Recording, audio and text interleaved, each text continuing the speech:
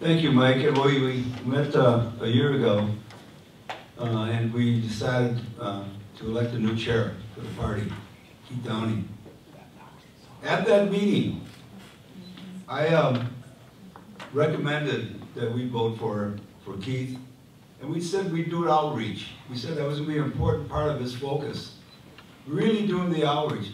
This is the beginning of what Keith talked about.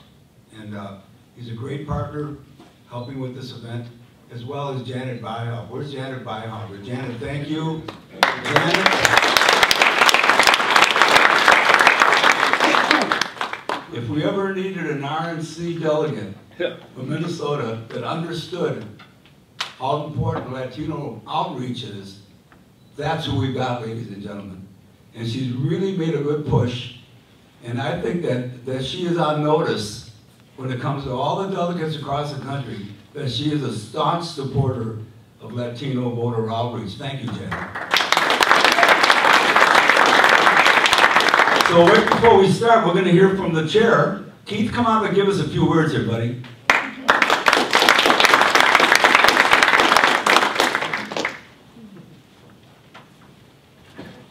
Well, thank you, Rick, and uh, wow, isn't this great that a bunch of Republicans are at the Wellstone Center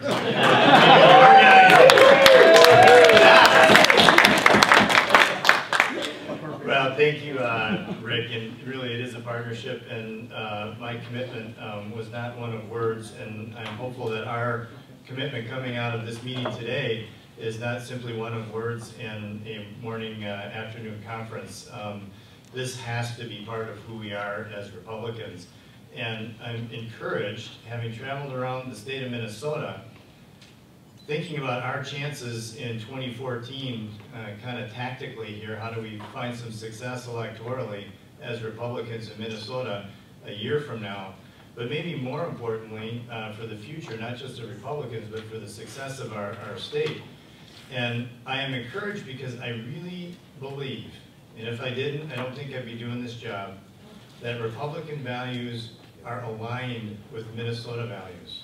You go around the state and you see how people lead their lives and how they run their businesses and how they contribute back to their community.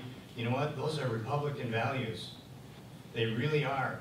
And they are no different for a Latino American, for an African American, uh, for uh, any other ethnic group or subgroup that we might want to create out there. And I appreciate, I really do, Rick, you're doing a fantastic job, and, and Janet with the program today and this mission that we're on.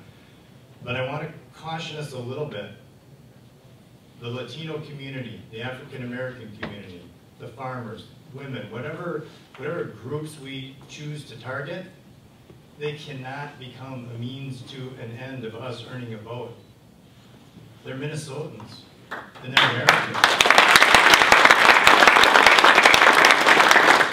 We, have to be in this because it's the right thing to do. And these people need the American dream, as, as Mike uh, alluded to, like every other Minnesotan, like every other American. So I think our values align. I couldn't agree more that the Democrats are literally leaving these people behind in, in the service of their special interests.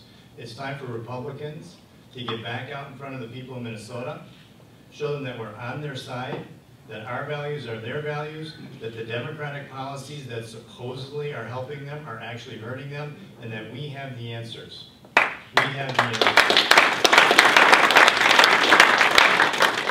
And historically, Republicans have been great at putting candidates in policy positions and um, kind of uh, analytical frameworks out there, right? And you know what? They work. They work in St. Paul and they work in Washington, D.C.